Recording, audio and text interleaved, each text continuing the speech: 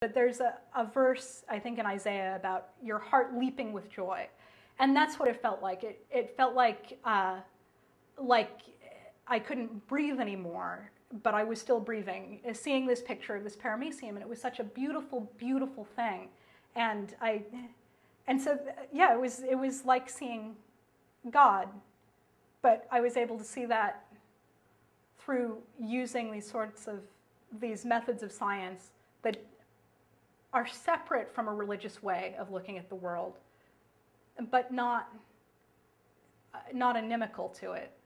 Something that bothers me very much theologically about intelligent design is that it says, here's a flagellum that we say is irreducibly complex. Hmm, and, there's, and that's where the miracle is. Or humans were specially created, there's no such thing as common descent. There's where the miracle is and so they're, you know, they're like four or five or six or however many they have discrete miracles, which, if they had their way, we would all learn are undescribable by science, that science has no explanation for.